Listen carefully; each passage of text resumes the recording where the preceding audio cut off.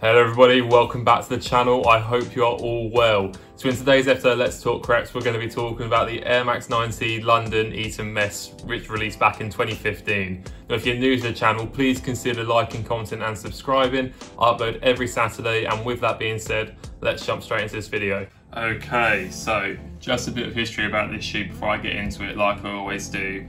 Uh, unfortunately, no box for these one. Uh, it was an eBay pickup for my fiance, and I got it for a really good price, so uh, I wasn't too bothered about not having a box. But a little bit of history about the shoe nonetheless. So this is the Air Max 90 Eton Mess. It was part of the Women's City collection that released back in September 2015. Uh, it had this sweet schemes sort of um, vibe to them all. So it's part of a six pack. There was a lot of shoes in this pack, so I'll go through them all very quickly. Obviously, this was London, Eton Mess, you know, Wimbledon, quite a popular dessert for London, so that was a perfect choice for that. You also had New York, you had the uh, strawberry cheesecake, Paris had the macaron, uh, Tokyo had a crepe styled one, Milan had the aperitivo, don't know if I'm saying that right, um, and Shanghai had the must win cake. So really cool concept, really cool um, pack. I wish I could get them in uh, my size, but this shoe in my UK 10, because the women's release is over a grand, so not gonna happen. Um, colorway for this is white, deep garnet and challenge red.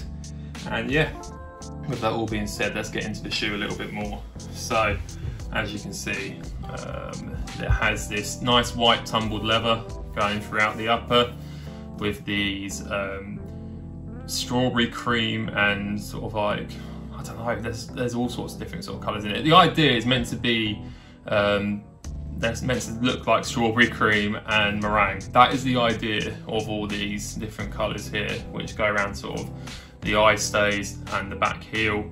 Um, and the main thing, the sole of the shoe. Look how cool that is. Oh, dude, I'm, I'm actually jealous that I don't fit these. Um, I'm gonna have to try and convince my fiance to do some on foot for us at the end of the video so we can show them off a bit more. Um, the eye stay here has London written on them. Like I say, it's meant to represent London. And the insole, again, these are pretty worn, um, but inside there it says treat yourself and London. Uh, but yeah, that is the shoe. Um, just take a bit of a moment to appreciate it. It's such a cool shoe.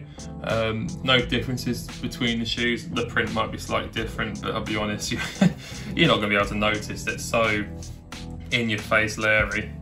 Um, that if the print was slightly different, yeah, you wouldn't know. Um, cool thing about these ones, the aglets on them are actually a um, silver, which is quite cool, bit different.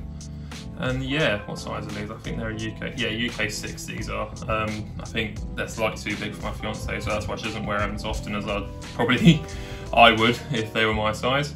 But yeah, with that all being said, let's see if I can get her to do some on foot.